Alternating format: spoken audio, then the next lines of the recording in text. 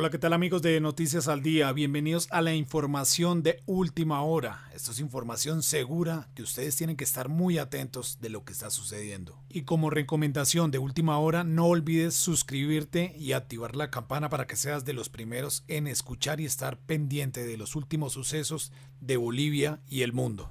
Comenzamos.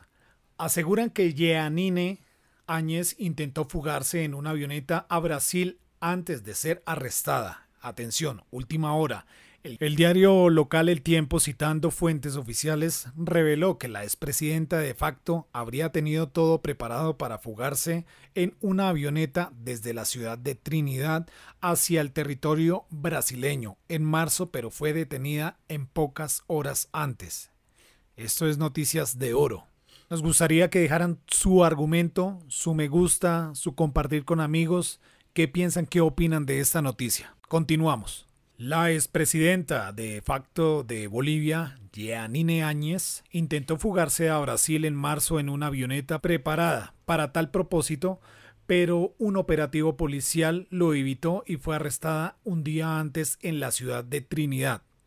La información publicada por el diario bolivariano El Tiempo, que cita fuentes oficiales, asegura que la justicia constató actos preparatorios típicos de una fuga y condiciones típicas de una evasión.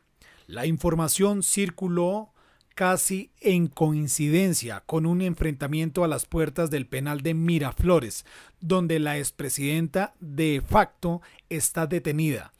Entre quienes reclaman su libertad y quienes acusan por la treintena de decesos que se dieron durante su gestión.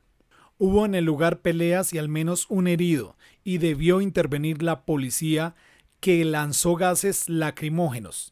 Según las mismas fuentes, horas antes, Yerko Núñez, quien fuera ministro de la presidenta hasta el final del mandato transitorio, avisó a la exmandataria sobre la medida judicial, pero este, con la información de primera mano, pudo actuar más rápido que Áñez y tomó otro avión con destino a Brasil. Queridos amigos, en este momento es donde ustedes hacen la intervención de dejar en la caja de comentarios que está abajo sus opiniones, sus argumentos eh, frente a esta conspiración o simplemente el que nada debe, nada teme. Somos Noticias al Día. Estamos en la actualidad. Y no olvides, suscríbete y activa la campana. La solución es que la oposición no manipule. La oposición no oculte porque trata de que se oculte que exista la impunidad. No quiere que se haga enjuiciamiento. Y claramente el señor Carlos de Mesa dijo, primero la transformación de la justicia 90 días. ¿Cómo podemos hacer la transformación? La reforma judicial 90 días. Una propuesta infundada, una propuesta política definitivamente que quiere distraernos al pueblo boliviano. O sea, lo que está buscando la impunidad, la señora Ayes quiere, quiere que se escape o se vaya a una embajada de aquí y finalmente digan para que todo se tronque el proceso de investigación. Entonces es una maniobra política, por supuesto una estrategia política para que no se haga la justicia en favor de las víctimas de los masacres. Que la señora Añez ya no finja, ya no mienta, ya no mientan los actores políticos como Carlos de Mesa, Tutu Quiroga, expresidentes, por supuesto que están preocupados, ¿no? Porque también van a ser procesados. Quién, sabe va a estar igual que Añez. Eh, hay una preocupación, se entiende su preocupación. Ya no mientan, ya no manipulemos, ya no politicemos la justicia en favor de las víctimas. Lo que corresponde es cumplir tal cual ha establecido, ha recomendado el GI, el procesamiento y el enjuiciamiento penal a los responsables y uno de los principales responsables es la señora Añez, ministras, ministros y también en calidad de cómplice sus aliados políticos, el señor Carlos de Mesa, Tutu Quiroga y entre se registraron luego de desarrollarse inicialmente la marcha que exigía la defensa en libertad de Janine Áñez y los denominados presos políticos. Esta movilización se encontró con otro grupo de personas quienes protestaron por los supuestos privilegios de la exautoridad. Una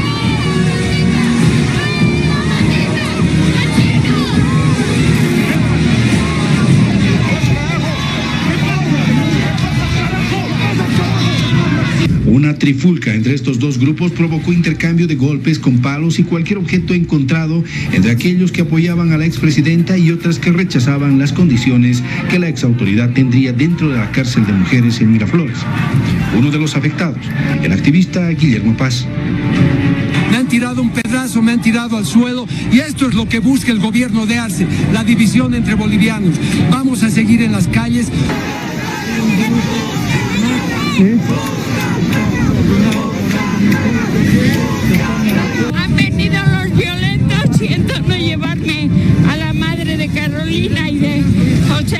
José, pero ¿qué voy a hacer? Ya volveremos. La marcha fue convocada por Amparo Carvajal, presidenta de Derechos Humanos de Bolivia, como respaldo a que Yanine Áñez pueda defenderse en libertad. Recordemos que Carvajal hace algunos días buscó entrevistarse con Áñez para conocer su estado de salud. Estoy como cuando estábamos en la puerta,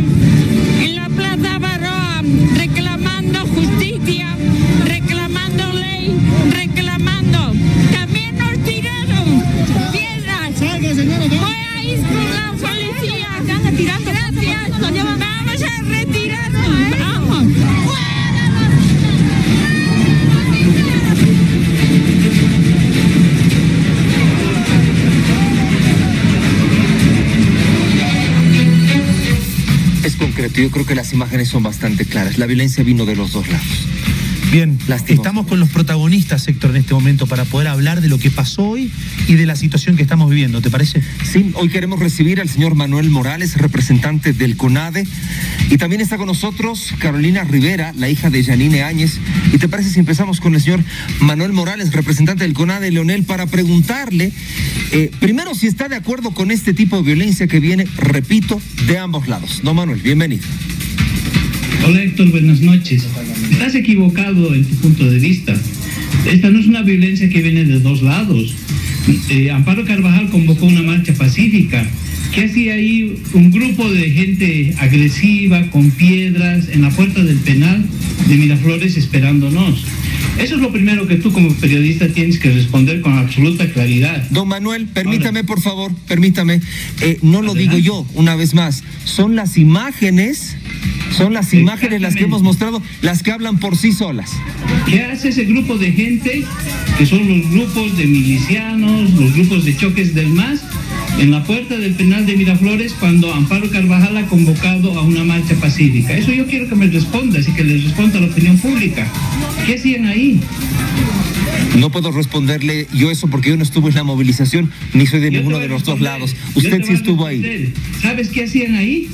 Precisamente generar esta situación de violencia, de enfrentamiento, de agresiones de manera sistemática, así como lo hicieron el 5 de agosto en el atrio de la universidad. Estamos frente a un gobierno violento que nos quiere prohibir el derecho a manifestarnos pacíficamente. Y estas acciones que estamos viendo son absolutamente lamentables. Y mientras esto sucedía, había un grupo de personas que estaban intentando tomar la Asamblea de Derechos Humanos a la cabeza de Aldo Michel, un personaje oscuro.